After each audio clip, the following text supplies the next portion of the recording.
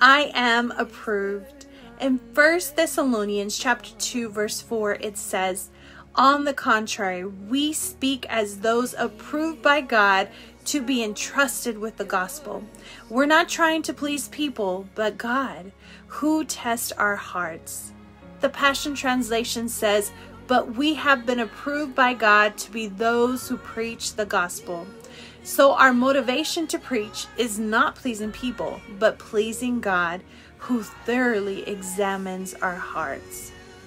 So, if you begin to question, Am I supposed to share the gospel?